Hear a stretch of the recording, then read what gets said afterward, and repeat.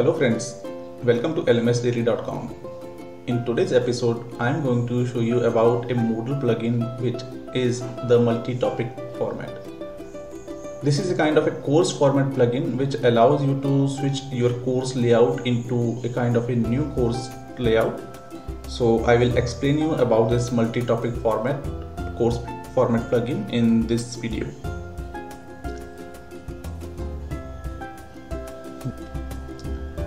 So let us get started. The multi-topic format allows you to show multiple topics per page. You can have tabbed navigation between different pages. You can have collapsible topics and you can have the timed uh, option for all the course sections also.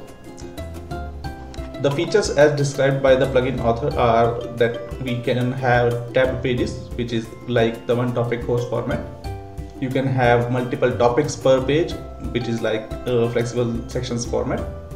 You can also have collapsible topics which is like collapsible topics course format plugin.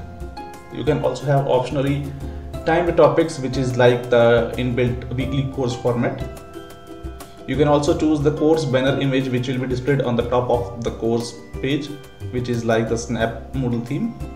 You can also put some section images which is a bit like the grid course format plugin.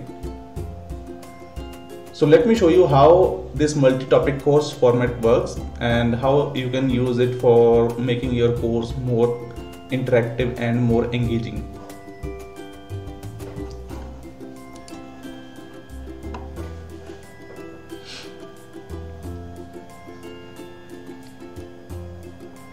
so as you can see that I currently have this course ready on my demo site uh, which is exported from the moodle.net OER platform. So I will just switch the course format for this course and show you how it will look like in multi-topic course format. So for that I need to go to this settings menu. And under this course format section let me switch from the topics format to multi-topic format. So the page will reload and you will have some more settings open here. The first one is the topic duration. This uh, is mainly related if you have the timed course sections in your course. So if you leave it as unspecified there will be no highlighting of the course topics. But if in case you have some dates in the course then you can use this to highlight the current ongoing topic. So you can choose either a day or a week here similarly you can choose the collapsible topics. If you want the topics to be collapsible then you can choose yes here. And you can also choose the option for the hidden sections here. If you want to show them or you want to make them completely invisible. And this banner slice will be discussed afterwards. I will tell you what exactly this is and how it works. So once you are done with these choices then you can just click on save and display so now as you can see that uh, there is no much change which is visible on the current course format. But let us enter into the editing mode by clicking this toggle. And now you can see that we have an additional plus button here uh, which refers to add a new page. As of now we have this welcome the first course topic as the page name. So let me click on this one and add a new page. So essentially what it does is it will add a new section in the course. So as of now we will add the section 5 as a new page. So let me give it a name as let us say course resources. And I will click enter. And let me add one more page as activities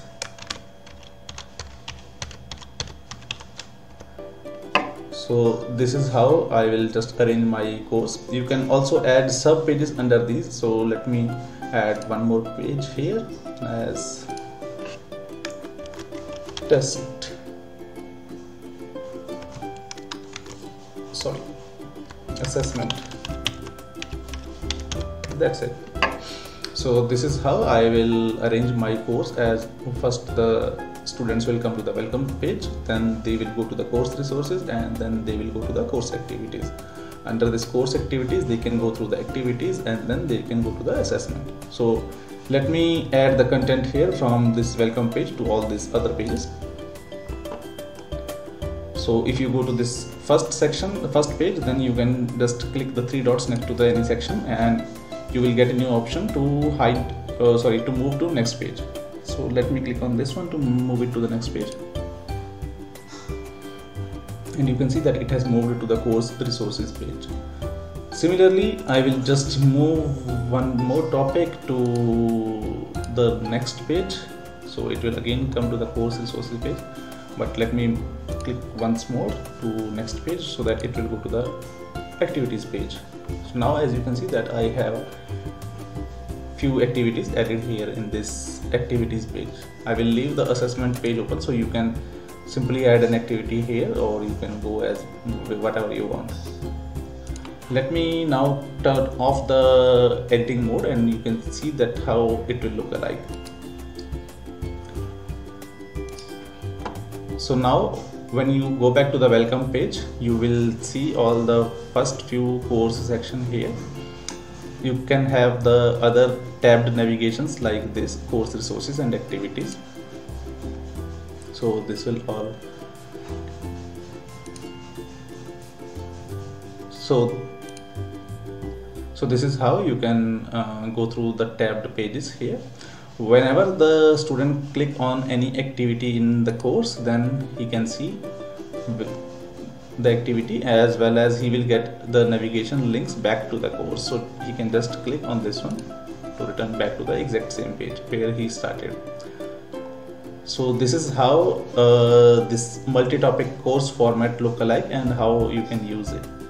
Now let me explain the slice under this course format there is a banner slice option. What it essentially it does is it will capture the area of the course image which we, you will upload here. So if you so if you upload any image here it will take the slice of that uh, image uh, from the top or uh, if you use it as 50% then it will use the center of the image. And if you will use 100% in this field then it will use the bottom part of the image so I will just add any image here. Let me just add any image here. And I will just keep it as 100% so you can see on the top that this is showing the bottom part of the image. Now if I will change it to 50% the well the image shall change here you can see and if I will keep it to let us say 0% then it will show the top part of the image. So as you can see there is a bar on the top which is essentially this top of the part of the image. So this is how you can use this banner slice of uh, the multi-topic course format. If you like this video please don't forget to subscribe to our channel and click the bell icon to get all the updates instantly on youtube and thank you very much for watching this video